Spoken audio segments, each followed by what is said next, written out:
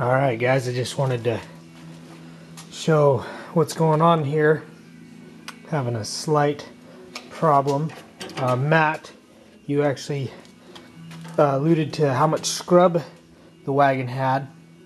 The problem I had was this bracket is my lower was my old lower shock mount and it went roughly right here. And if you can see in there, just peeked out right here is the upper shock mount.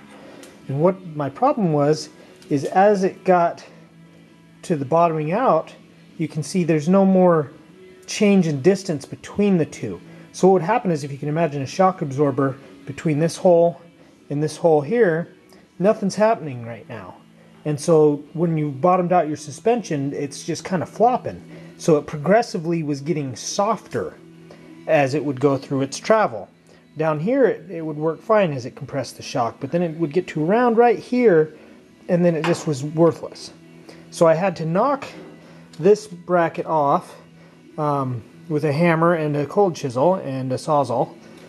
And I have now mocked up on this side a new bracket. And you can see it's quite a bit longer and it hangs down quite a bit farther than the old bracket. And it's just held on by a set of vice grips now. But what it does, let me see if I can move it, is as the shock travels, it's no longer progressively getting softer because when it bottoms out even, you can see that the shock is still being compressed. Um, and this is actually going to be around where it bottoms out now, so it's no longer going to hit the bottom of the wagon. Because I did this, I lost quite a bit of travel. Um, right about there is going to be fully extended. And so uh, one of the benefits to that is now I'm going to have a significantly less amount of scrub.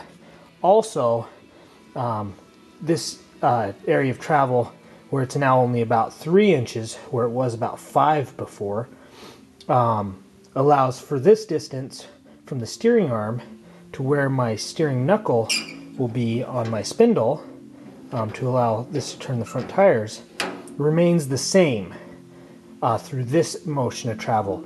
As it drops down farther, this begins to get significantly closer and this distance becomes too short which meant when the suspension bottomed out, the tires would be pushed out, um, giving me a toe problem in my alignment.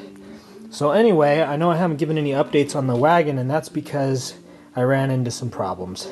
So hopefully this fixes them. The front end's going to be about an inch and a half lower than it was before, um, which will help with the scrub, the steering, and the progressive softening of the suspension. Uh, it should cure all those problems.